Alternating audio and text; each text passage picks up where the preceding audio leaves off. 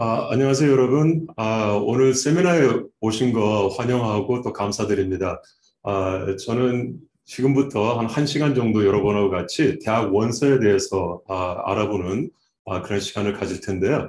아, 제 이름은 샘 아, 림 원장이고요. 저는 아, 북가주에 위치하고 있는 산 라몬이라고 하는 아, 도시가 있습니다. 거기에 엘리트 프랜치가 있는데 거기서 원장으로 아, 일하고 있습니다. 아, 다시 한번 여러분들 환영드리고요.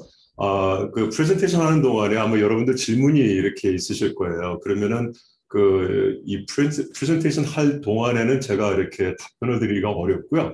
그래서 채팅에다가 이렇게 문자로 넣어 주시면은 저희 다른 원장님들께서 그 채팅을 보시고 아, 이렇게 문자로 답해 아, 드리는 줄 압니다. 자, 그러면은 아, 제가 스크린을 share하고요. 아, 여러분과 같이 한 1시간 정도 시간 같이 나누겠습니다. 자, 오늘 주제가 대학 원서에 대한 모든 것이다라고 이렇게 되어 있는데요. 아, 상당히 많은 분량이죠. 아, 근데 오늘은 특별히 이제 몇 가지를 놓고 이렇게 생각해 보기를 원하는데 한 다섯 가지 정도를 제가 생각을 해봤습니다. 아, 물론 이제 오늘 대학 원서에 대해서 우리가 알아보는 시간이지만은 아, 2025년도 즉 작년에 아, 대학 원서를 내서 올해 입학하게 된 이 학생들, 그러니까 그 대학 입학률에 대해서 좀 알아보고요. 그 다음에 대학 원서의 종류, 어떠한 대학 원서들이 있는가.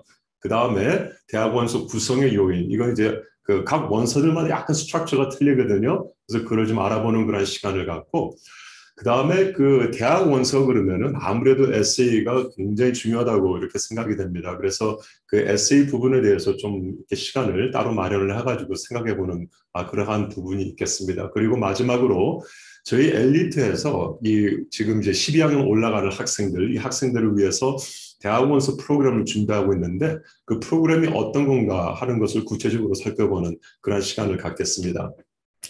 자, 먼저 2025년 클래스 2025 admission rate입니다. 이게 이제 작년 그러니까 올해 입학한 아이들의 그 대학 입학률에 대해서 나온 건데요. 아, 먼저 한그 서른 개 정도의 대학을 제가 이렇게 찾아봤습니다. 근데 이 서른 개라고 그러면 특별히 이제 국가주에 있는 고등학생들이 아, 이 상당히 많이 지원하는 그런 이제 대학들이 되거든요. 여러분 이제 이렇게 보시면 아시겠지만은 2024년도 대학 입학률하고 2025년도 입학률하고는 좀 차이가 있습니다. 아마 여러분들 이미 소문으로 아니면은 이제 문서상으로 많이 아, 이제 그 정보를 이렇게 입수하신 걸로 제가 알고 있습니다. 이번에가 굉장히 어려웠죠. 음, 많은 대학들을 보게 되었을 적에 아마 많은 대학들뿐만이 아니죠. 거의 미국 내에 있는 모든 대학들을 보게 될 때에 아, 사상 최고의 그 이 원서를 받는 그러한 해가 바로 아, 지난 해였다라고 이렇게 봅니다. 그래서 이렇게 보게 되면은 아, 이제 보스턴 칼리지나 보스턴 유니버시티에 해서 이렇게 쭉 내려가는데 아, 작년에 비해서 올해 입학률이라고 하는 것이 상당히 이제 많이 차이가 있다라고 하는 것을 보게 되실 거예요. 자, 그래서 아, 그 지금 이렇게 보시는 거는 아, 이번 2025년도에 Boston College 같은 경우에는 3만 9천 혹은 거의 4만이 되겠죠. 4만 개의 application을 받게 됐는데 이게 작년하고 비교했을 적에 35% 증가한 그러한 그 숫자라고 이렇게 얘기를 합니다. 그 다음에 이제 Boston University도 굉장히 학생들이 선호하는 그런 학교가 되는데요. 거기도 보게 되면은 이번 해에 7만 5천 아, 이 넘는 그런 그 application이 들어와서 24%가 넘었다고 그러고요. Harvard University 같은 경우는 거의 이제 뭐 5만 7천 이렇게 나오는데 작년에 비해서 거의 41%가 증가했다 이렇게 얘기를 합니다. 아, 그 다음에 이제 그 NYU죠. New York University에서 많은 학생들이 또 그, 이, 그 대학을 가기를 원하는데 10만이 넘어서 작년과 비교하게 되었을 적에 20% 아, 이상의 application을 받게 되었고, 그 다음에 이제 Rice University. 아마 이제 여러분들 잘 아실 거예요. Rice University 그러면은 엔지니어링 그리고 이제 pre-med 쪽으로도 굉장히 강한 학교로 지금 이렇게 성장하고 있습니다.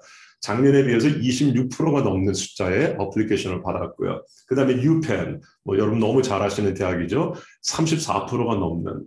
아, 그렇게 해가지고서 이렇게 보게 되면은 작년하고 비교하게 되었을 적에 상당히 더 많은 숫자의 application이 이렇게 받게 되었던 거죠. 그 말은 뭐겠습니까? application의 숫자가 많아졌다라고 하는 것은 입학률이 그만큼 낮아졌다라는 걸 얘기하는 거거든요. 그래서 이번 해에, 그러니까 작년에 apply 했던 학생들이 상당히 많은 학생들이 가고 싶어 했던 대학을 못 들어간 그런 경우가 생기는 그런 일이 발생이 됐던 것이죠. 자, 지금 보여드리는 것은 작년과, 그러니까 2024년과 2025년, 아, 그 이 admission rate의 그 difference입니다.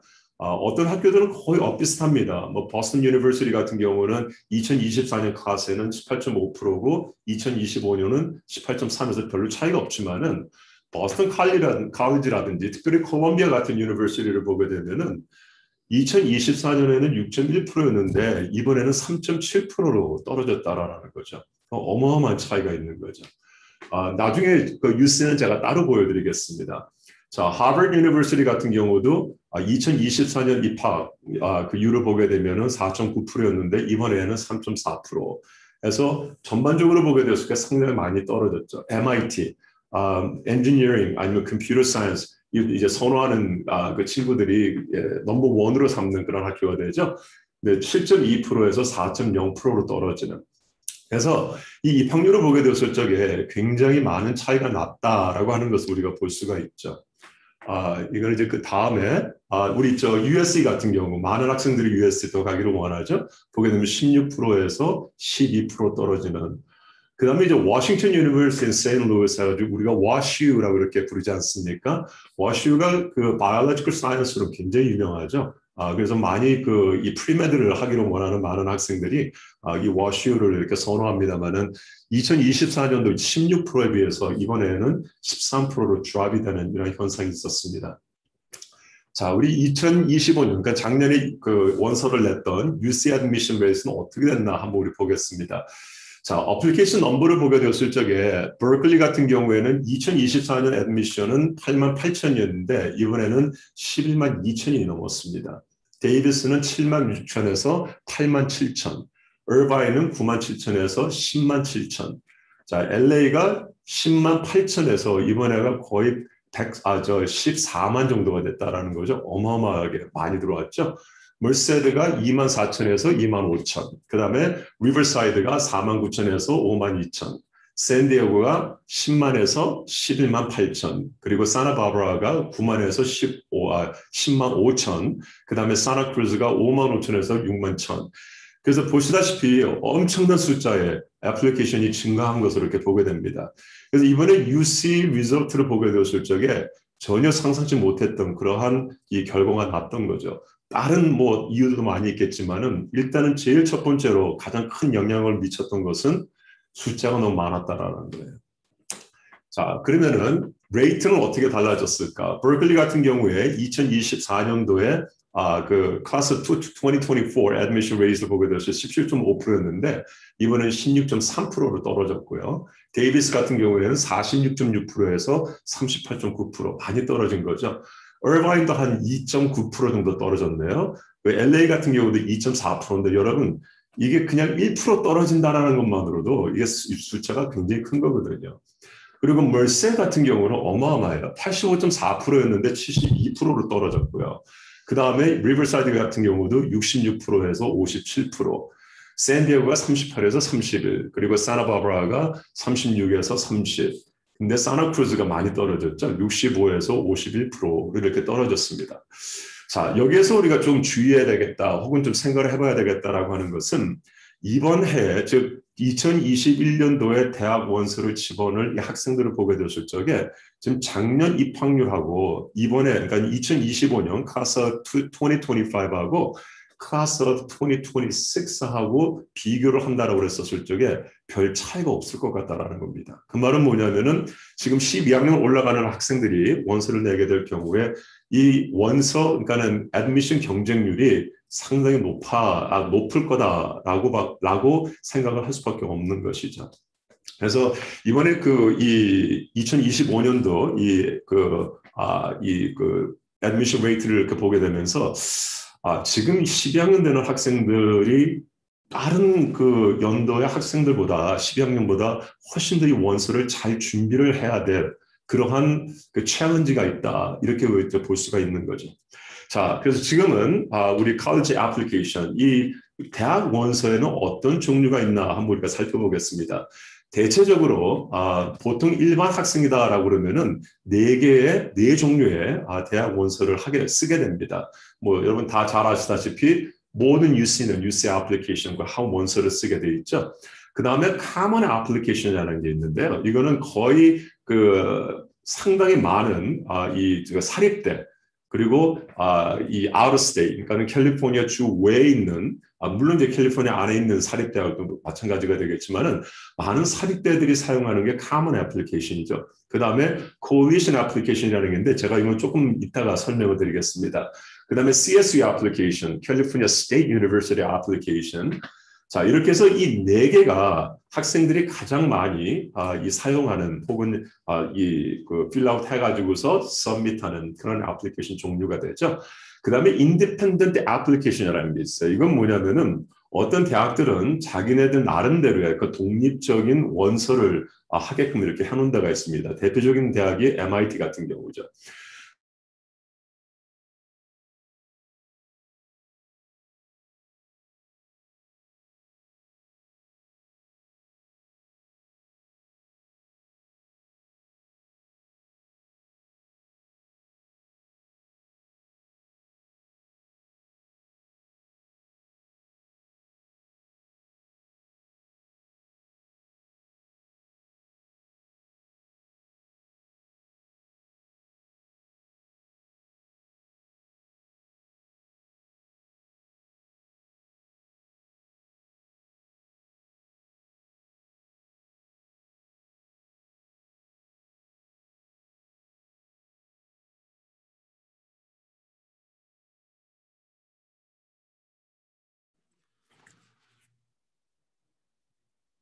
아, 문제가 좀 간- 잠깐 생긴 것 같습니다. 저희 림 선생, 저샘 선생님 잠깐 뭐 문제가 있으신 것 같은데 잠시만 기다려 주세요.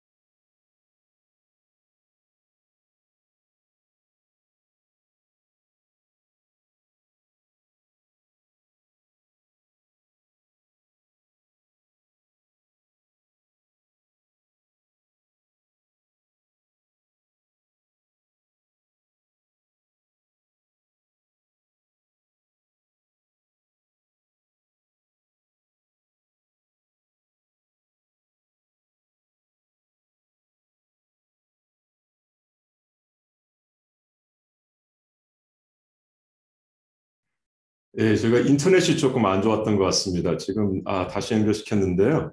아, 잠깐만요. 아,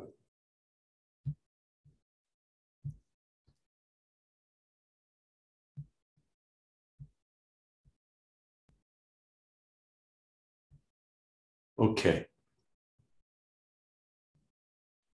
자, 그래서 아까 말씀드렸던 것처럼 아, 지금 이 그 이 카먼 앱하고 그 다음에 콜리션 앱 이렇게 있고요. 아, 그 다음에 보게 되면은 coalition 앱을 이렇게 보게 되었을 적에 아, 이러, 이러한 대학들이 이 coalition 애플리케이션을 사용을 합니다. 네, 지금 이렇게 보게 되면은 아, 지금 이제 빨간색으로 제가 이렇게 대학 이름을 이렇게 표시를 해놨는데요. 이 work, the Rugers라든지 아니면 St. Mary's, Texas A&M, 아, University of Texas at Austin, UT Austin이라고 그러죠.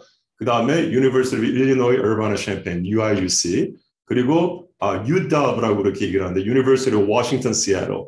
자, 이러한 대학들을 보게 되었을 적에 아, 이 가장 학생들이 많이 선호하는 이 coalition 애플리케이션을 사용하는 대학 중에 이 대학들이 되는데 이 대학들은 coalition 애플리케이션만을 사용을 합니다. 그런데 아, 이 common 앱을 사용하고 있는 대학들을 보게 되면은 coalition 앱도 같이 이렇게 할 수 있게끔 해주는 그런 대학들이 있어요. 이렇게 보게 되면은 IB 같은 경우에 8개 대학 중에서 5개, 콜롬비아, 하버드, 프린스턴, 유펜, 예얼 같은 경우, 그 다음에 그 소위 이제 명문대 아니면 히든 아이비 같은 아, 그런 대학들이 있죠. 스탠포드, 유시카고, 캘텍, 노스웨스턴, 밴드빌, 존스 하킨, 존스 하킨스 이러한 대학들도 콜리션 이 애플리케이션을 이렇게 사용하라고 그러는데 저 같은 경우는 그 저희가 이제 프로그램이 있어가지고 12학년들 아, 그 애플리케이션을 도와주고 하는데 저 이렇게 겸용할 수 있는 이런 대학들은 일단은 그냥 카문 앱을 쓰라고 그렇게 얘기를 합니다. 왜냐면은 아무래도 카문 앱이 더 이렇게 조금 더 쓰기가 편한 것 같아요. 이렇게 해보니까. 그리고 이제 학교 측에서도 카문앱하고 연결되어 있는 게 많이 있기 때문에 그래서 이러한 대학들이 콜리션과 카문앱을 같이 사용을 하게 하지만은 되도록이면 그냥 카문앱을 쓰는 게 더 편하다 이렇게 말씀을 드리고 싶습니다. 자, 그 다음에 CSU 캘리포니아 스테이트 유니버시티 애플리케이션이죠. 아, 여러분 잘 아시다시피 지금 캘리포니아 안에는 CSU 캠퍼스가 23개가 있습니다. 이 모든 CSU가 다 이 애플리케이션을 쓰고요. 그리고 캘리포니아 스테이트 유니버시티라고 했었을 적에는 CSU, 즉 캘리포니아 스테이트 유니버시티 오브 로스앤젤레스, 롱비치, 노스리지 이것뿐만이 아니라 산호세 스테이시라든지 샌디에고 스테이시라든지 아니면 여러분 잘 아시는 대학이죠. 카폴리스 산 루이스 어비스포라고 하는 이 대학 엔지니어링하고 컴퓨터 사이언스가 아주 잘 알려진 그런 대학이죠. 이런 대, 아, 그, 그 대학들이 아, CS 애플리케이션을 같이 씁니다. 네, 아까도 이제 말씀드렸던 것처럼 CS 애플리케이션은 아, 이제 SA가 없는 거죠. 자, 그 다음에 이 칼리지 애플리케이션 해가지고 MIT, 조지타운 같은 이러한 대학들을 보게 되면은 자기네 나름대로의 그 이 독립적인 그런 그 원서를 이렇게 하게 합니다. 자, 그 다음은 이 admission 종류에 따라서 크게 이제 어플리케이션이 두 종류로 이렇게 나눠지게 됩니다. 하나는 regular application에서 일반 지원 원서가 되는 거고요. 다른 하나는 early application에서 조기 지원 원서 이렇게 되는 거죠. 그두 종류가 있다 이렇게 보게 되는데, so regular decision이라고 하는 것과 early action application인데 이 early action 혹은 early application에는 세 가지 종류가 있습니다. 그게 early action, early decision, restricted early 아니면은 single choice early 이렇게 얘기를 하고 있죠. 자, 이걸 우리 하나하나 좀 살펴보는 그런 시간을 갖겠습니다. 먼저 그 regular decision 여러분 뭐 너무 잘 아시는 거고 일반적으로 아 그냥 그 1월 1일 이후에 1월 1일 이후에 아 그 데드라인에 따라서 보내는 이제 그게 regular decision application이고요. 그 외에 early application이라고 하는 것은 주로 10월에 준비를 해서 11월 1일까지 아, 제출하는 원서를 우리가 early라고 그렇게 얘기하죠. 근데 이제 많은 학생들을 보게 되면은 early를 선호하는 경우가 생깁니다. 그왜 early를 선호하는 게 좋을까라고 하는 것은 높은 입학률 때문에 그렇습니다. 그래서 여기서 잠깐 그 스태티스틱을 보여드리면 아, 지금 이게 그 이 아이빌리그죠. 아이빌리그 대학들인데 현저하게 차이가 나죠. 그냥 레귤러 디시전으로 했을 적에는 저렇게 아주 낮은 입학률이 나오게 되는데 early action 아니면은 아, 그 early decision으로 하게 되니까는 훨씬 더 높아진다라는 거죠. 그래서 아, 확실히 early application이 더 좋다 이렇게 얘기는 할 수 있는데 여기에는 조건이 따릅니다. 어떤 조건인가? excellent profile이에요. 그러니까는 대학교에서 원서를 이 평가를 한다라고 그랬을 때, 이제 리뷰를 이렇게 하게 될 때에 그 프로파일이 상당히 좋아야 된다라는 거죠. 그럼 이 프로파일은 뭐를 얘기하는 건가? 여러분 잘 아시다시피 GPA, test scores, extracurricular activities 이 모든 것들이 거의 완벽하게 갖춰지는 최상급에 이르는 혹은 물론 뭐 그런 아이디 대학뿐만이 아니라 아, 이 mid-tier 대학들, 그러니까 중간치 되는 대학들도 보면은 아, early action 혹은 그 early decision을 그렇게 하는 학교들이 있습니다. 상당히 많이 있는데요. 그 학교들이 아, 이 early에서 뽑는 학생들을 보게 되었을 적에는 일단은 성적이 좋고 이 시험 점수도 좋고 그 다음에 extracurricular activity도 좋은 그런 아이들을 먼저 이렇게 뽑는 거죠. 자, early action입니다. 한 450여 개 대학이 early action과 early decision 이 원서를 이렇게 제공하고 있는데요. 이 early action의 특징은 뭐냐면은 지원 원서에 제한 수가 없다라는 겁니다. 그 말은 뭐냐면은 아, 만약에 50개 대학 내가 이렇게 보는데 50개 대학 중에서 뭐 30개가 early action인데 나 30개 다 early action으로 하고 싶다. 그럼 할 수 있습니다. 이건 숫자에 제한이 없어요. 그리고 원서 마감일이 11월 1일이나 11월 15일까지 되는 경우도 있습니다. 대체적으로 보게 되었을 적에는 11월 1일까지가 되는 경우가 많고요. 그 다음에 이제 early decision이라고 그랬었을 적에 early action하고 현저하게 다른 부분이 한 가지가 있습니다. early decision은 다른 이렇게 단어로 이게 binding application이라고 그래요. 이 binding application이라고 하는 것은 내가 거기에 이렇게 발목에 붙잡혀 있다 뭐 이렇게 표현할 수가 있겠죠. 그러니까 왜 그런가 하면은 입학되었을 때에 입학 통지를 받게 되었을 적에 이 학교로 꼭 가야 된다라는 겁니다. 이게 그래서 바인딩 애플리케이션이라고 그러고요. 그 다음에 한 가지 또 특징 뭐냐면은 한 개 대학에만 원서를 넣을 수 있다라는 거예요. 자, early decision을 이 어프하는 대학들이 많습니다. 아, 그 이 저 아이빌리 같은 경우 보게 되면은 뭐 거의 모든 대학들이 아 그 early decision을 하는 경우가 있는데 모든 것 많은 대학이 근데 이 early decision이 많은 대학들이 offer는 하지만은 제공은 하지만은 그 중에 하나만 골라야 돼요. 그래서 이 early decision을 하겠다고 했었을 적에 저는 이제 꼭 묻죠 학생들한테 정말 그 대학을 100% 가고 싶은 대학이냐 왜냐면은 early decision을 하게 되었을 적에 UC에 들어가는 이 모든 것을 다 포기를 해야 된다라는 거거든요. 그래서 한 개 대학에만 원서를 넣을 수 있다. 여러분 이것이 또 다른 차원에서 보게 되면 어떤 의미가 있을까요? early decision 하고 early action 그리고 regular decision이 있는데 만약에 내가 early decision으로 원서를 집어넣는다 그러면은 대학 쪽에서 나를 어떻게 볼까요? 확실히 내가 그 대학에 가기를 정말 원한다라고 보기 때문에 조금 더 찬스를 주려고 하는 그러한 에포트가 있을 거다라는 거죠. 그래서 ED가 좋기는 하지만은 이건 바인딩이다. 입학되었을 적에 반드시 그 학교는 가야 된다. 하면 되고요. 자, 그 대신에 한 학교에만 이 원서를 집어넣을 수 있지만은 다른 대학에서 early action을 offer하게 되었을 적에 early action application을 넣을 수가 있습니다. 그리고 원서 마감일은 11월 1일이나 15일까지 대학에 따라 조금 다릅니다만은 early action하고 똑같죠. 자, 그 다음에 restricted early 혹은 아, 이 single choice early라고 하는 게 있는데요. 이 대표적인 대학이 이 네 대학입니다. 하버드, 프린스턴, 스탠포드, 예예요. 자, 이 대학들의 early로 하게 되면은 이거는 restrict, 그냥 보통 early가 아니라 restrict early 아니면 single choice early예요. 그래서 이제 벌써 이 의미가 나오죠. 이 네 개 대학에 early를 넣는다고 그랬을 때 하나에만 할 수가 있어요. 한 개 대학만 선택을 해가지고 거기에다가 early를 넣게 되는데 그럼 어떠한 여기에는 이 단점이 있을까? 다른 대학에서 그러니까 이 early decision이나 early action을 offer하는 다른 대학을 지원할 수가 없습니다. 그래서 하버드나 프린스턴이나 스탠포드, 예일 같은 경우에 한 대학을 선택을 해가지고 early를 한다라고 했었을 적에 다른 대학에서 제공하는 그런 어떤 ED나 EA를 전혀 할 수가 없다라는 거죠. 자, 이거는 이제 early application 원서 마감일인데요. 너무 많은 대학들이 있습니다만 대표적인 몇 대학만 이렇게 좀 찾아봤습니다. 그래서 캘텍부터 해가지고 이렇게 쭉 보게 되면은 대체적으로 11월 1일이 마감일입니다. 근데 여기서 보게 되면은 아그 UNC죠. 그이 North uh, University of North Carolina Chapel Hills 여기는 10월 15일까지 원서를 내게 돼 있고요. 음 그리고 유, 유시카고 같은 경우는 11월 2일 그 다음에 of Michigan 같은 경우에 보게 되면 11월 15일까지 할 수 있게끔 해줍니다. 자, 그래서 이게 early application의 마감 날짜 이렇게 보여드렸습니다.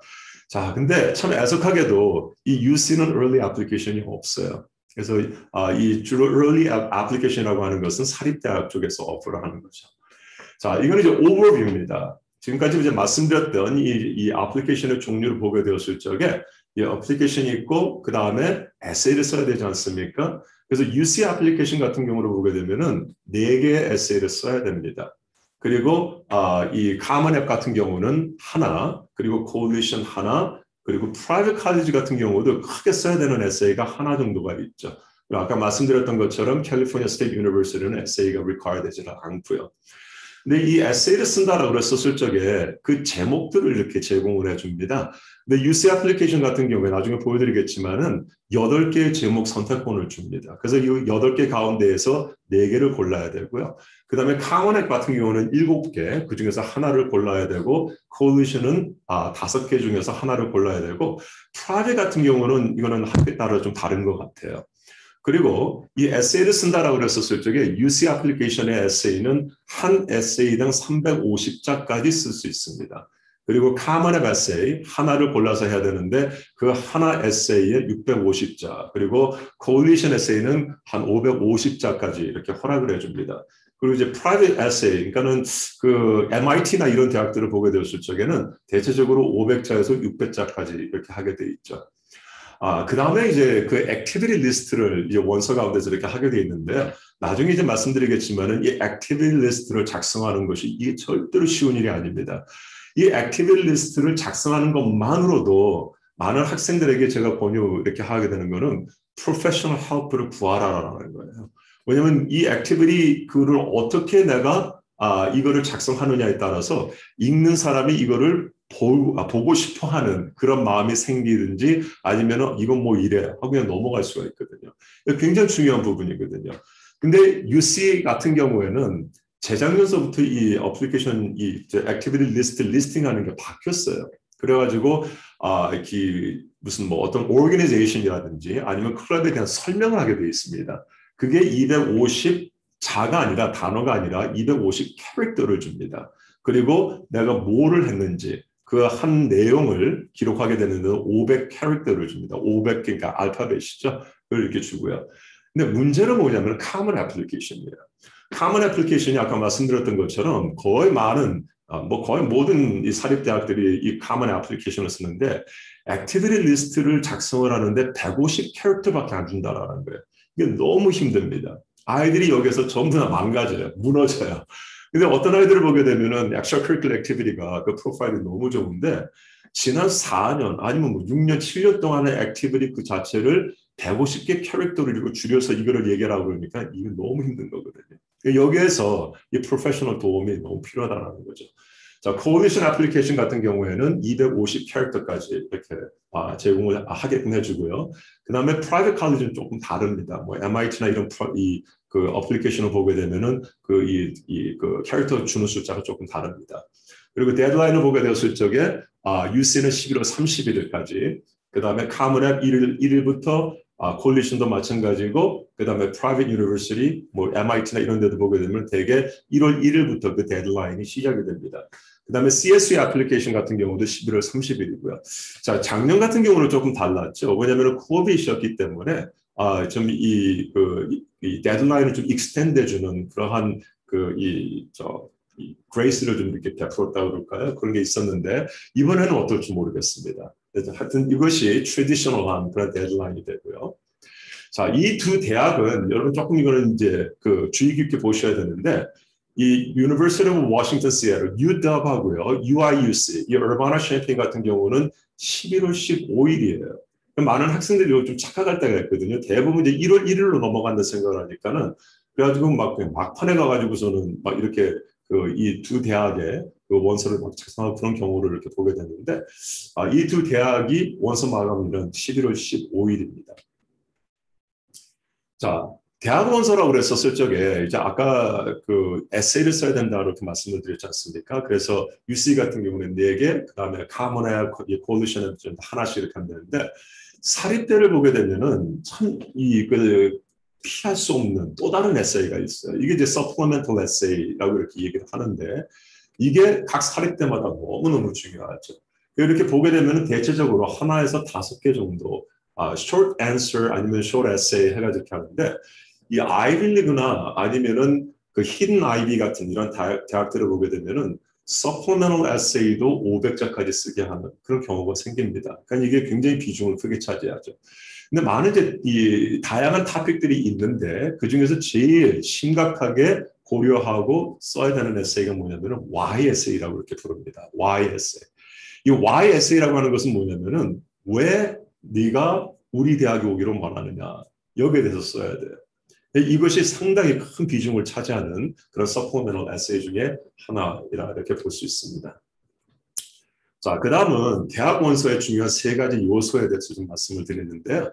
첫 번째가 뭐냐면은 authentic이입니다. 그래서 이 대학 원서를 읽는 사람들이 이렇게 보게 되었을 적에 쭉 훑어보기는 하지만은 이것이 얼마만큼 진지성이 있는 건가라고 하는 것을 보는 거예요.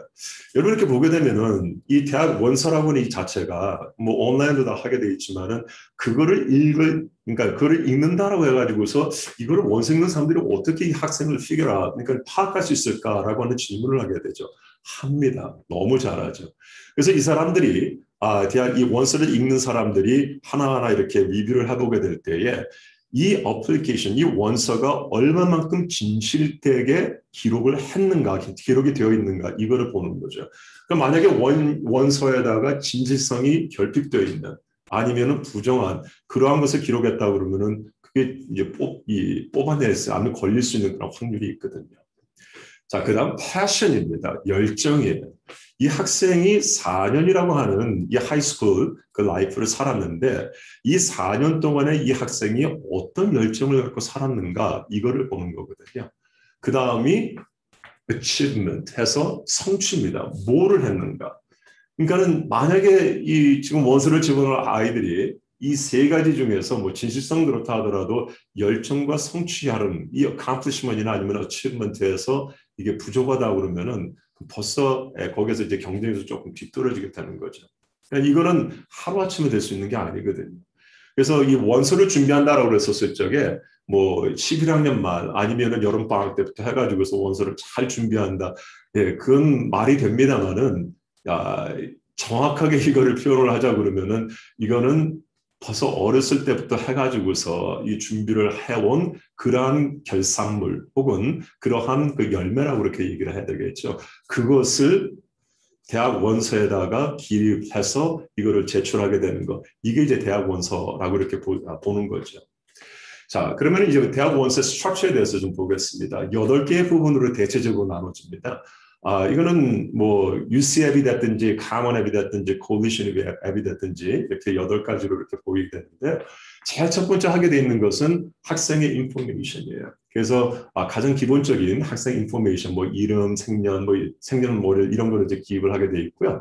그다음 두 번째를 보게 되면 family information이에요. 그래서 이 부모님과 그다음에 아, 그 sibling, 이 형제에 대한 그러한 이제 information 하게 돼 있고 그다음에 house income을 이렇게 쓰게 돼 있습니다. 근데 이 house income 쓰는 이거는 optional이 돼 있어요. 그래서 만약에 뭐 기록 안 하셔도 됩니다만은 하시는 게 아무래도 더 편하실 것 같아요. 자, 그 다음에 school information. 이거는 이제 그 학생이, 그러니까 원서적으로 학생이 다니는 고등학교에 대한 그러한 그 information입니다. 그래서 보게 되면은 학교 이름, 그리고 그 학교의 코드가 있어요. 이제 원서에 다 나오는 거니까 그렇게 원, 저, 걱정 안 하셔도 되고요. 그 다음에가 아, 그 학생의 counselor information. 그 다음에 아, 또 기록, 기록하게 되어 있는 것이 뭐냐면은 만약에 학생이 온라인 school이나 아니면은 커뮤니티 칼리지에서 클래스를 택한 그러한 그 기록이 있다라고 하면은 그 institute에 대해서 기록을 해야 됩니다. 그리고 어떤 클래스를 했는지도 기록을 하게 돼 있고 나중에 그 기록을 하게 되지만 그 다음 섹션을 보게 되면은 대체적으로 이제 12학년 때 클래스를 기록을 하게 되죠. 특히 UC 같은 경우에 보게 되면은 12학년 때 어떤 클래스를 택하고 있는지, 뭐 Common App도 마찬가지고 Coalition App도 마찬가지입니다. 근데 이제 12학년 클래스를 listing할 때는 grade는 당연히 거기는 적지 않게 돼 있겠죠. 자, 그 다음에 이제 GPA예요. 이 GPA가 뭐냐면은 아, 9학년 때서부터 해가지고 11학년 때까지 한 모든 클래스들을 다 이렇게 기록을 하게 되면서 그 옆 란을 보게 되면은 grade가 뭔가 하는 거를 다 기록을 하게 돼 있습니다. 그래서 물론 이제 여러분 잘 아시다시피 UC 같은 경우에는 10학년과 11학년 GPA만을 상관하지만 기록하는 거는 9학년서부터 해가지고 12학년까지 다 이걸 기록을 해야 된다라는 거죠. 그래서 10학년과 11학년 때 UC 애플리케이션이라고 그러면은 무조건 그러니까 우리가 rigorous class라고 그러죠. 이 challenge는 도전적인 아니면 힘든 그런 클래스들을 많이 하는 게 좋다 이렇게 알고 있고요. 근데 학생들, 그러니까 많은 학생들을 보게 되면은 10, 아, 10학년하고 11학년 때 GPA만 이렇게 상관을 하다 보니까는 12학년 때 별로 그렇게 어려운 클래스를 안 하려고 하는 학생들이 있어요.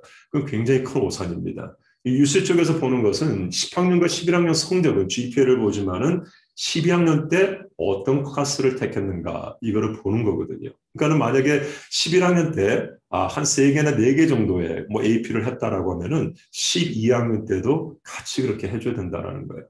자, 그 다음에 보게 되면 테스트 스코어입니다. 뭐 SAT, ACT, 그 다음에 AP 테스트 스코어 이런 것들을 기록을 하게 돼 있고요. 또 여러분 뭐 잘 아시겠지만 이제 UC나 또 CSU 같은 경우는 지금 이제 SAT나 ACT 스코어를 더 이상 관여하지 않지 않습니까? 또 많은 학교들을 보게 되었을 적에 test optional 로 이렇게 가는 학교들이 많이 있고요. test blind도 많이 있습니다. 아마 이번에도 똑같을 것 같아요. 지금 이렇게 기록을 보니까는 작년에 test optional을 갔던 학, 그 학교들이 올해에도 test optional을 가고 있습니다. 그리고 test blind였었으면 올해도 test blind. 그러니까 여러분 뭐 제가 이거는 저 말씀드릴 필요가 없지만 말씀을 드렸는데 test optional이면은 스코어가 있으면 좋아요. 그 스코어가 좀 이렇게 괜찮은 스코어라라고 그랬었을 적에 당연히 그거는 입학하는 데 도움이 되는 거죠.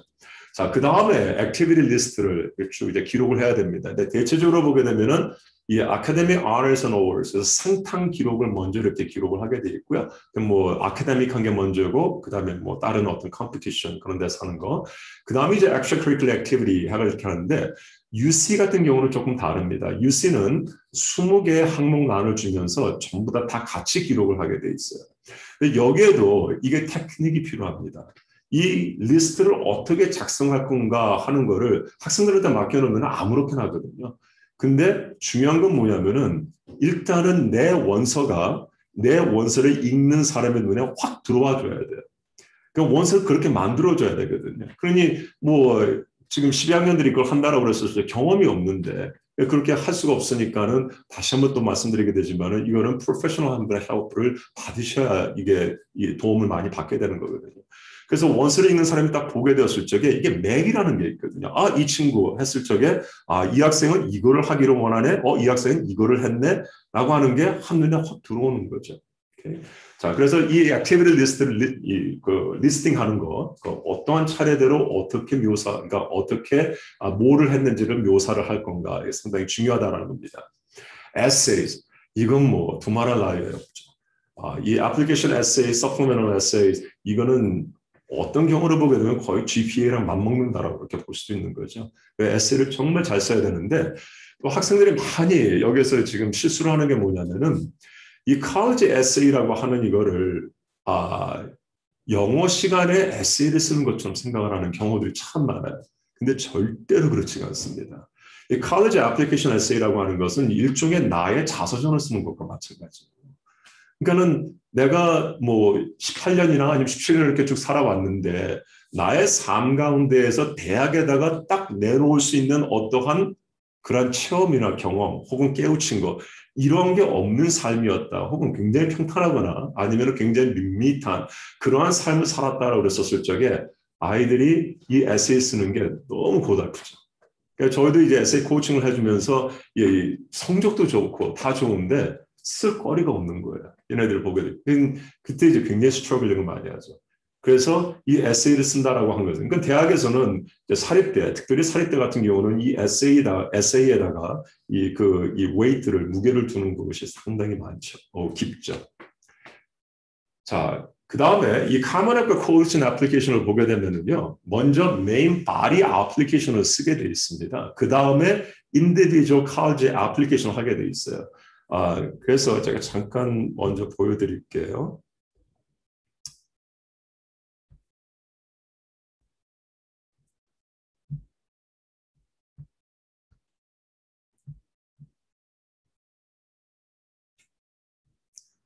자, 지금 여러분이 보시는 게, 아, 지금 카메라부터 가볼까요? 자, 이건 이제 온라인으로 보셨을 때하고 좀 다를 겁니다. 근데 이건 이제 페이퍼 상으로 이렇게 되어 있는 건데, Common App을 보게 됐을 적에 이러한 식으로 진행이 돼요. Personal information, contact information, demographics에서 뭐 citizenship이 있냐 해가 쭉 이렇게 내려가거든요. 그 다음에 family information 아까 보여드렸던 것처럼 아, 말씀드렸던 것처럼 여기 보면은 이제 부모님의 직장 이런 것도 다 기록을 하게 돼 있고요. 그 다음에 이제 siblings 이렇게 나오죠. 하고 그 다음에 아, 내가 다니는 학교 거기에 대해서 쭉 이렇게 기록을 하게 돼 있고요. 이제 여기에 colleges and university 이거를 보게 되면은 이 커뮤니티 칼리지나 아니면 다른 그 이 어떤 대학에서 4년제 대학에서 클래스를 한 게 있냐라는 거예요. 그럼 이제 그 대학을 여기에 기록을 하게 되어 있습니다. 오케이. 그 다음에 이제 GPA 리포트죠. 오케이. 근데 이제 여기 클래스 랭킹이라고 하는 것이 있는데 이거는 이제 대체적으로 공립학교에서는 provide를 안 해주죠. 사립학교 같은 경우는 가끔은 이렇게 볼 수가 있습니다만은 아, 기록을 해야 되고요. 그 다음에 이제 Common App인데 여기 보게 되면은 honors 해가지고서 상 받은 기록, academic한 거죠. 이거를 이제 기록을 하게 되어 있습니다. 그 다음에 테스트 스코어 쭉 이렇게 하고 activity 들어가죠. activity 들어가는데 이 description 이게 완전 도전, 도전적이 되는 거죠. 아까 말씀드렸던 것처럼 150 캐릭터를 가지고서 이 란을 아, 채워야 됩니다. 그래서 아, 그래서 10개의 이 그 activity를 listing하게 되어 있고요. 그 다음에 이제 에세이를 쓰는 거죠. 그래서 여기 보게 되면은 이제 7개가 주어지면서 여기서 하나를 아, 선택을 해가지고 하고 쭉 해서 이 여기 사인을 해야 되는데 이 signature에 오기 전에 이거를 하고 난 다음에 뭐를 해야 되냐면은 각 대학을 선택을 해가지고 그 대학교에 그 이 원서를 따로 해야 된다는 거죠. 자, 그 말씀드리기 전에 우리 Coalition application 한번 보겠습니다. 자, Coalition application을 보게 되죠. 거의 비슷하죠. Common App하고 보게 되면은 이렇게 쭉 해서 listing하게 되어 있습니다. 자, family info 들어가죠. 자, high school info 들어가고요. 그 다음에 카운슬러 있고 그리고 이제 여기 쭉 보게 되면은 9학년 때 택했던 이 클래스들에서 이제 쭉 10학년, 11학년 그리고 12학년까지 이렇게 기록하게 되어 있습니다. 그리고 여기도 마찬가지로 이제 그이 칼리지를 어디를 이 만약에 했으면 community college 같은 경우에 이렇게 기록을 하게 돼 있고요. 그래서 이렇게 칼리지 코스에 대해서 기록을 하게 돼 있죠. 그럼 여기도 보게 되면 이제 상 받은 거에 대해서 기록을 하라라고 하는데 Coalition Application은 Common App보다 아까 말씀드린 것처럼 좀 더 관대합니다. 그래서 한 220자에서 250자까지 허락이 되는 걸로 알고 있습니다. 아, 자가 아니라 250 캐릭터. 그 다음이 activity 해가지고서 쭉 이렇게 기록을 합니다. 그리고 test score. 그래서 이렇게 됩니다. 자, 그래서 이거를 stop sharing 하고 다시 어,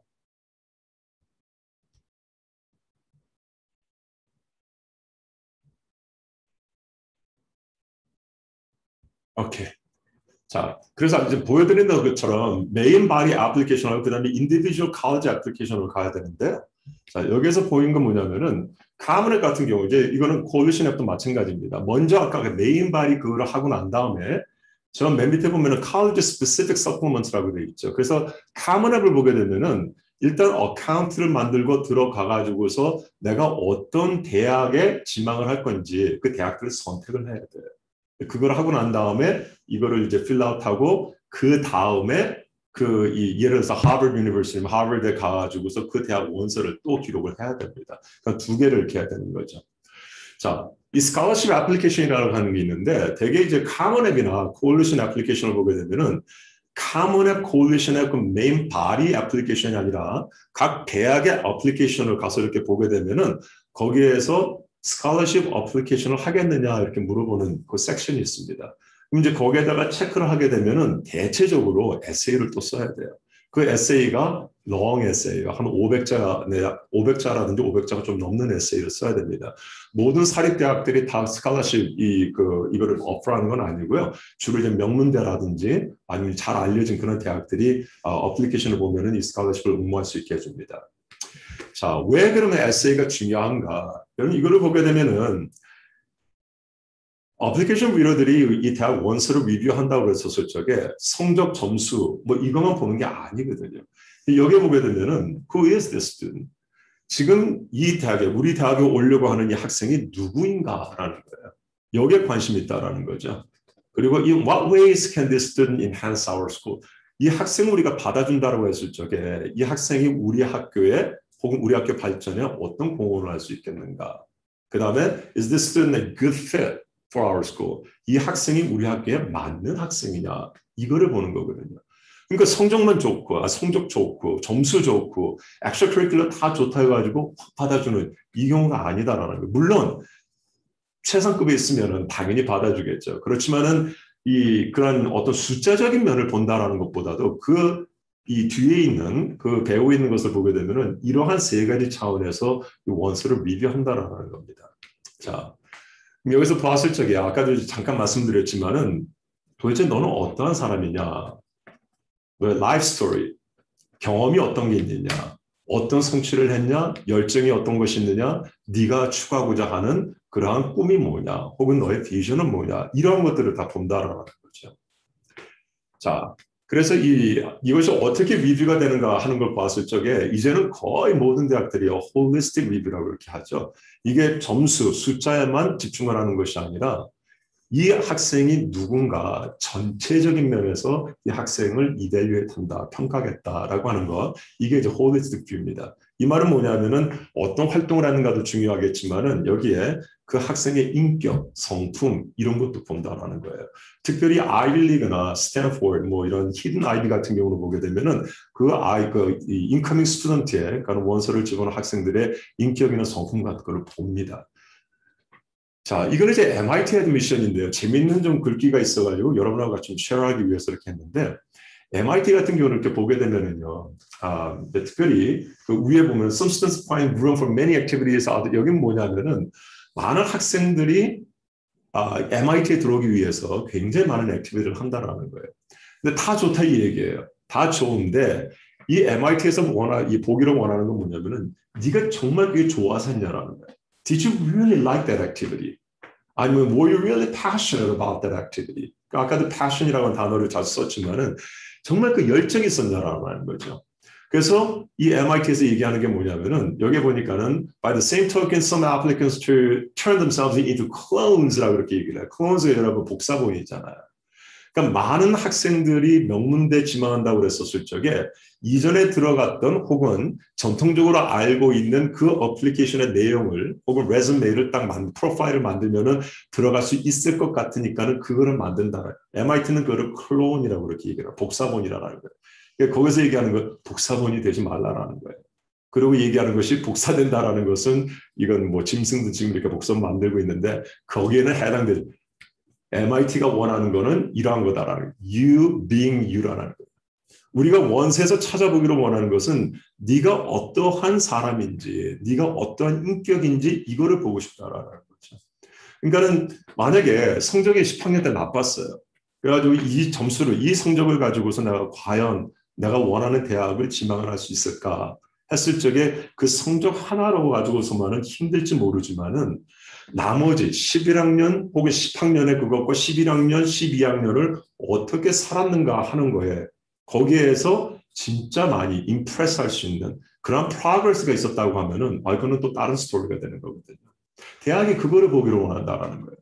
내가 실수를 했니? 그럼 그 실수의 내용이 뭐니? 묻기로 하겠지만은 이 대학들이 원하는 것은 실수의 내용을 파악하는 것도 중요하지만 그 실수를 통해서 그 아픈 경험을 통해서 그 쓰다 쓰디 쓴 경험을 통해서 이 학생이 어떻게 변화가 되었는지 그 변화로 말미암아서 이 학생이 어떻게 바뀌었는지 그 변화로 말미암아서 이 학생이 어떠한 증진을 했는지 어떠한 발전이 이거를 보기를 원한다는 거죠. 그러니까 게임이 끝난 게 아니에요. 성적이 모든 게 아니다라는 겁니다. SAT 점수가 모든 게 아니다라는 겁니다. extracurricular activity가 많지 않다. 그게 모든 끝난 것이 아니다라는 거죠. 하지만 하지만 대학에서 원하는 것은 뭐 원서에 그렇게 쓸 수 있지 않습니까? 에세이를 쓰는데 아 나의 꿈이 뭐 이거고 나는 앞으로 이걸 하고 싶고 얼마든지 그렇게 쓸 수 있죠. 그렇지만은 그를 읽는 사람 입장에서는 proof가 있어야 된다라는 거예요. 너 그렇게 큰 꿈이 있다고 하는데 그러면 네가 대학교에서 뭐를 했니? 예를 들어서 많은 학생들이 pre-med 하기도 원합니다. 의대 가고 싶고 의사가 되고 싶다. 대체적으로 이렇게 물어보면은 내가 의사가 되고 싶다라고 했을 적에 거의 모든 학생들이 얘기하는 것은 한 가지 이유예요. 뭐냐면은 사람들을 도와주고 싶습니다. 라고 하는 그 이유거든요. 근데 대학 원서 읽는 사람 입장에서 이 학생이 지금 pre-med를 하고 싶다라고 했는데 활동한 거를 보니까는 도와준 게 아무것도 없어요. 성적은 좋고 SAT도 1550이 나왔는데 활약을 이렇게 이 activity를 보게 되었을 적에 클럽 활동한 것도 보니까는 그냥 멤버로만 있었고 리더가 된 것도 없고 officer가 된 것도 없고 도와준 게 아무것도 없어요. 그러면 어떻게 생각을 할까? 이 사람 이 학생이 과연 과연 의사가 되기를 원하는가? 거기를 갸우뚱할 수가 있겠죠. 그리고 예를 들어서 또 politician이 되기를 정치가가 되기를 원해요. 그런데 아무것도 없네.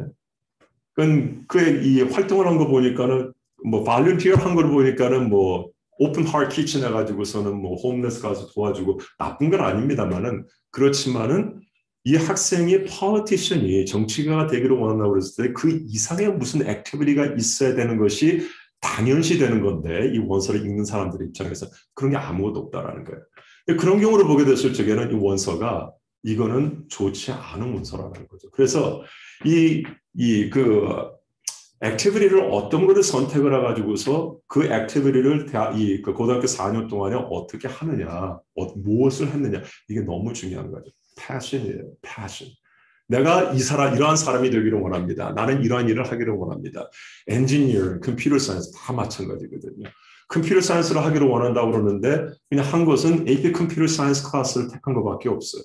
나머지 extra curricular activity를 보니까 아무것도 내가 computer science를 MIT 하건 혹은 카네기 멜론에서 하고 싶어 한다고 그러는데 한 게 아무것도 없어. 그럼 그거는 뭐 거의 실격이죠. 자, 그래서 내가 뭔가를 어떤 전공을 하기로 원한다라고 이게 서 있다라고 하면은 이 패션이다라고 하는 게 이게 너무 중요하고 그 다음에 리더십이에요. 이 리더십이라고 하는 것은 간풀 쓰는 게 아닙니다, 여러분. 이 리더십이 뭐냐 하면은 내가 있는 어떤 종류의 공동체에 들어가서 거기에서 일을 하고 같이 일을 하는데 거기에 나와 함께한 사람들에게 어떤 영향력을 끼쳐준 그런 사례가 있냐라는 거예요. 그걸 이제 Ivy 쪽이나 아니면 Hidden Ivy 쪽에서 얘기하는 것이 Did you go out to your community and try to transform the lives in your community or in the community? 그 공동체에 있는 그 사람들의 삶을 변화시켜준 그러한 체험이 있느냐 이거를 보는 거거든요. 이게 리더십이라는 그러니까는 school club에서 뭐 president, vice president 아니면 뭐 secretary 해 가지고서는 그런 리더십을 많이 갖고 있는 것도 좋지만은 정말 뛰어난 그런 리더십이다라고 하는 것은 뭐 하나의 어떤 activity가 될 수도 있겠지만은 어떤 한 경우를 통해서 어떤 한 사람이 나로 말미암아 변화를 입었다. 그 사람의 삶이 바뀌어졌다. 이러한 체험이 있다라고 하면 그게 true leadership이다. 이렇게 보는 거죠. 자, 이거는 이제 Common App Essay의 prompt입니다. 그래서 여러분 뭐 지금 시간이 다 됐기 때문에 그냥 넘어가겠습니다만은 여기서 보게 되면은 주로 하는 게 너의 이 좋아하는 그런 서적이 뭐냐 그런 것과 그리고 hardship 네가 사는 동안에 힘든 경우가 있었느냐 거기에 대해서 얘기해 줘 봐라 하는 이제 그런 것들이 쭉 있습니다. 그래서 이 일곱 개 가운데에서 하나를 이렇게 선택해야 되고요. 코디션 같은 경우는 다섯 개 중에서 하나 하는데 아, 맨 마지막에 보면 재미있죠. Submit an essay 아니 topic of your choice에서 그거는 내가 이렇게 내가 토픽을 추수할 수가 있습니다. 자, UCF은 이제 여덟 개입니다. 마찬가지로 여기도 보게 되면은 이제 리더십에 관한 거, 또 네가 갖고 있는 특기, 특징이 뭐, 아, 특기가 뭐냐, 아니면 기프트가 뭐냐, 이, 런 거에 대해서 얘기하라고 그러고, 그 다음에 아 여기서도 보게 되면 이제 체험지, 힘들었던 그런 삶 이런 거가 뭐냐, 그래서 쭉 이제 나오게 되죠. 아, 그 다음에 이제 UC에서 재밌는 거는 맨 마지막인 것 같아요. 보게 되면은 What do you believe makes you stand out? 다른 이 그 applicant들하고 비교했을 적에 네가 다른 아이들보다 더 나은 점이 뭐냐 이렇게 하는데 자이 여덟 개 가운데에서 네 개를 아 이제 골라야 됩니다. 자. 이 application을 이렇게 작성을 하는데 이제 application reading하는 사람들이 얘기입니다. 그 사람들이 원하는 거는 wow application. 이렇게 읽어보게 되었을 적에 wow, this is really good application. 이거를 그 작성할 수 있어야 되는데 이 wow application이라고 그랬었을 적에 여러분 특별히 여러분의 자녀가 명문대를 생각한다라고 하면은 제가 아까도 말씀드렸던 것처럼 professional help를 꼭 구하셔야 돼요. 그래야지 확률이 훨씬 더 높아집니다. 자, 그래서 우리 엘리트가 college application 프로그램을 이렇게 제공을 합니다. 세 개 패키지가 있어요. essential 패키지가 있고, 프리미엄 패키지가 있고, comprehensive 패키지가 이렇게 있습니다. 예, 저 같은 경우는 대체적으로 essential 패키지는 프로모션 안 합니다. 왜냐면은, 아, 저거는 그냥 한개 application하고 이, 그, 이 다섯 시간의 그, 이, 그, 에세이 coaching time이 들어가기 때문에 많은 학생들한테는 좀 맞지가 않는 것 같아요. 자, 특징은 뭐냐면은 각 패키지마다 저희가 커버하는 application의 숫자가 다릅니다. 그래서 essential 같은 경우에는 하나, 그러니까 뭐 UC 하나 아니면 한 개 대학. 그리고 프리미엄 패키지 같은 경우는 아, 다섯 개까지 우리가 이렇게 하죠. 그래서 다섯 개 대학이다라고 그랬었을 적에 UC를 하나로 치곤 네 개. 그리고 여기에 보면 이제 essay 타임이 들어가죠. 12시간의 essay coaching time이 들어가고 그다음에 comprehensive package 같은 경우는 아, 이 20개 대학, 아, 10개 대학까지 이렇게 하게 되면서 20개, 아, 20시간의 이 essay coaching time을 이렇게 주게 됩니다. 자, 조금 더 제가 설명을 드리는데, 자, 이 애플리케이션 프로그램이라고 그랬을 때 저희가 제일 먼저 하는 것은 학생으로부터 정보 수집을 먼저 합니다. 그래서 성적표, 시험 점수, 그리고 extracurricular activity가 어떤 거가 있는가 하는 이 정보를 먼저 수집을 하죠. 왜 이게 필요할까? 이것 때문에 그래요. college list 때문에. 그래서 이 받은 정보에 따라서 그리고 이 학생이 원하는 그런 전공 여기에 따라서 저희가 college 리스트를 작성을 합니다. 자, 각 branch마다 조금 다르겠지만은 저희 같은 경우에는 한 25개 정도 대학 을 저희가 선정을 해주면서 그 대학을 아, 이, 이 학생에 맞는 그런 전공을 저희가 제안을 합니다. 그리고 학생에게도 좀 묻죠. 네가 원하는 대학이 어떤 대학이냐 해가지고 리스트를 만들라 해가지고서 이 상의한 후에 아, 어떤 때는 뭐 거의 40개 대학이 되는 경우도 있는 것 같아요. 그래서 이거를 상의하면서 한 15개에서 20개 정도 대학으로 저희가 추려냅니다. 네, 그렇게 되면 20개 정도 됐다라고 했었을 적에 이제 대학 원서가 어떤 거를 해야 되고 그리고 에세이를 몇 개를 써야 되는가 하는 게 이제 결정이 되겠죠. 이게 나오겠죠. 그 다음에 이제 도와주는 게 뭐냐면은 에세이 주제를 선택하는 거, 이거를 도와줍니다. 아까 저 말씀드렸던 것처럼 Common App essay, 그리고 Coalition App essay, 아, 그리고 UC essay, 이게 main body 에세이인데, 이 에세이 prompt를 같이 리뷰를 하면서 여기에서 어떤 거가 가장 좋은 에세이 선택이 될까, 이거를 이제 아, 도움을 주죠. 그리고 난 다음에 대체적으로 이제 7월 달부터 저희가 에세이 코칭이 들어갑니다. 근데 이 에세이 코칭이다라고 하는 것은 학생 하나, 한 학생당 코치가 한 사람이 붙습니다. 그래서 1대1로 에세이 코칭을 하는 거죠. 그래서 에세이 코치를 보게 되면은 이 학생이 아, 이 그 지원하기로 원하는 그 대학에 대한 이, 이 인포메이션을 다 갖고 있으니까는 에세이를 몇 개를 해야 되는가. 그게 이제 서플멘털 에세이까지 다 이렇게 포함이 되는 거죠. 그 다음에 이제 8월 달쯤 돼가지고 저희가 원서 작업을 시작을 합니다. 그러니까 학생은 지금 에세이 코치하고 계속 에세이를 쓰고 있으면서 원장님들이 혹은 부원장님들이 학생하고 만나가지고 원서 작업을 시작을 해요. UCF, Common App, Coalition App. 아, 뭐 early를 한다 그러면 당연히 이제 그 Common App 그부터 시작을 해야 되겠죠. 그래서 아까도 말씀드렸던 것처럼 activity list 작성하는 게 이게 절대로 쉽지가 않습니다. 그래서 이 저 같은 경우를 보게 되면은 이 그 원서 작업 중에 가장 많은 시간이 소물, 아, 소모가 되는 것이 이 activity list예요. 아이들이 할줄 모르니까 숙제로 내줘도 그걸 잘 못하고 하니까는 앉아가지고 같이 해야 되는데 시간이 굉장히 오래 걸리죠. 그 다음에 이제 overall review를 합니다. 다 하고 난 다음에 최종적인 리뷰를 해가지고 아 같이 서밋해도 된다 제출하자 해가지고 제출을 하죠. 자, 그래서 이제 overall 보게 되면은 다섯 개 정도의 항목을 가지고 저희들이 이렇게 도와줍니다. 그래서 essential package, application 하나, 그리고 essay coaching hour는 다섯 시간.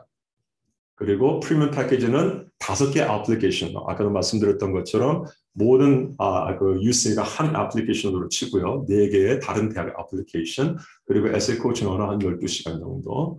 그 다음에 comprehensive package가 10개 대학, 그리고 essay coaching hour가 20시간 이렇게 하게 됩니다. 자, 이렇게 하게 되는데 이게 branch마다 다를 수가 있어요. branch마다 다를 수가 있으니까는 그거는 아, 이 여러분이 이렇게 해당되는 그 branch 연락을 하셔가지고 저희가 1회 무료 상담 제공하고 있거든요. 그래서 원장님하고 같이 만나셔가지고 아, 상담하시면서 premium package나 아니면은 comprehensive package 이거를 이렇게 결정을 하셔서 하시면 참 좋을 것 같아요. 아, 이제 뭐 저희 같은 경우는 이미 이제 시작을 했습니다. 해가지고서 좀 아이들 아, 이렇게 도와주고 하고 있는데 아, 여러분 아까도 이제 말씀드렸던 것처럼 이 앞으로의 대학 이것이 쉽지가 않습니다. 정말 쉽지 않은 것 같아요. 대학 들어가는 게 점점 더 어려워지고 그래서 지금 오늘 이렇게 쭉 말씀을 드렸지만은 한 시간 내에 다 이걸 말씀드리는 게 아무래도 좀 무리가 됐죠. 아, 그 대신에 그렇지만은 아, 저희가 같은 이런 company가 항상 곁에서 학생들에게 아, 도움을 주고 또 그 학생들이 가장 이 가기를 원하는 그러한 대학을 우리 이렇게 평가를 하면서 갈 수 있게끔 최선을 다하는 그러한 아, 그 institute들이 있으니까는요. 아, 특별히 우리 엘리트 같은 경우는 여러분들이 추천도 하실 수 있습니다. 그래서 아, 지금 말씀드렸던 이런 college application program 한번 고려해 보시고 만약 문의 사항 있으시면은 이제 가까이 있는 branch에 연락하셔서 상담 꼭 잡으시고 한번 이렇게 말씀 나눠주세요. 자, 오늘은 여기까지입니다. 여러분 참석해 주셔서 감사드리고요. 아, 또 이렇게 뭐 문의 사항이나 아니면 질문 주시면은 아마 계속해서 chatting 하시면은 아마 우리 또 원장님들이 계속 이렇게 답을 해 주실 거예요. 그렇지만 아까도 말씀드렸던 것처럼 각 branch에 연락하셔서 아, meeting setup 하시고 상담 나누시면 좋겠습니다.